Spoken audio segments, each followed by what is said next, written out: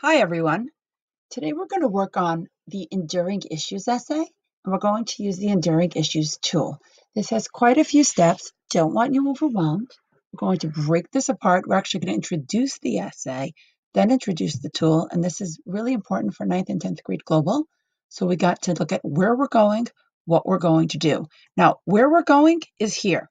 This is the part three Enduring Issues essay prompt. No matter where you go and what you do, this will be the last part of your Regents. Now, how are we going to do this? Um, just to explain to you the first three videos, there are going to be more to follow.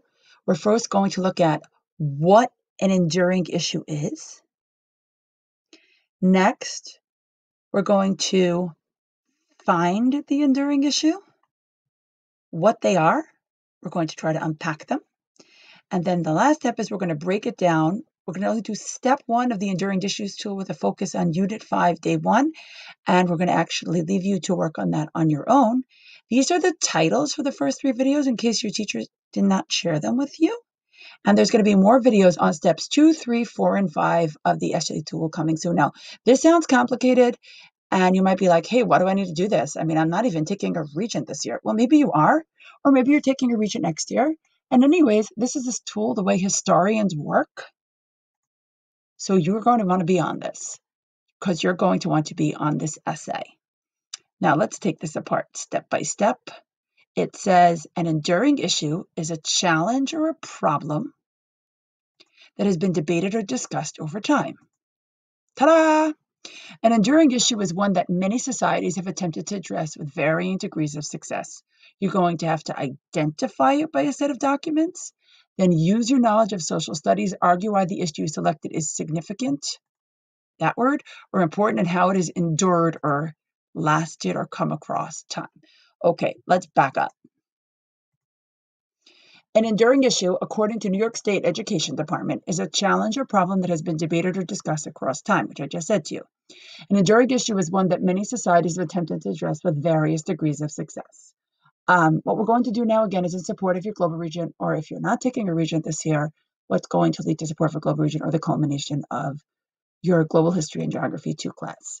Okay, so let's see this again. It's a challenge or problem. Society has faced it, debated, discussed it across time. It's not something that just happens momentarily. It is one that many societies have attempted to address over time with varying degrees of success, meaning some people did a good job on it, some people did it. Okay.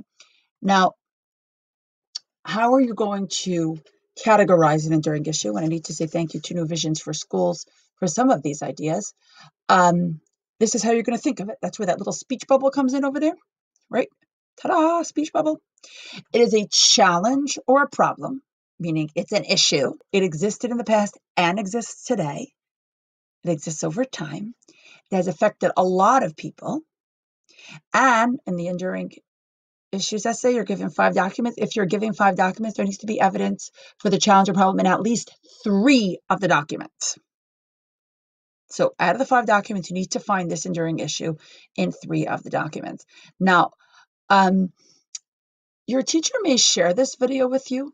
It's from Engage New York. New York State put together a whole explanation of the essay and how it works and what you're going to do. Actually, your teacher may actually ask you, so you see, click here to add text, the expectations for the exam and for the essay. Um, you can do that if you'd like, but I want to point something else out to you before we go further.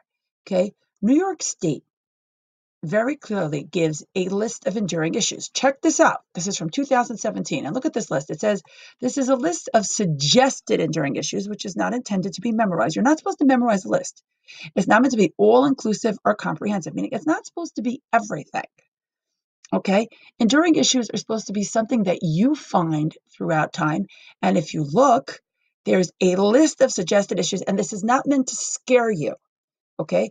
But they have conflict and then they have all of these issues inside of conflict. Look at this. Oh my goodness. So you can either be overwhelmed by this list or you could be like, hey, wait a minute. As long as I find one of these, what they call nested issues, see that term up there? Nested issues? As long as I find one of these, like disputes over waste disposal, meaning like how people should get rid of, it's usually not just their garbage, it's like their nuclear waste. If I find that in three sources, that's an enduring issue. And I know you wouldn't have necessarily thought of that, but instead of being overwhelmed by a list like this, which talks about conflict and human rights violations, which you probably find quite often actually, scarcity, which means there isn't enough, power, security, population growth. Instead of being scared of a list like that, human impact on environment, impact of humans on environment, tension, trade, you're going to find something in this list. You're going to be like, I'm going to find an issue, urbanization, nationalism. I'm going to find an issue in here. Impact of all these different things you're going to learn about migration, decolonization. Check this out.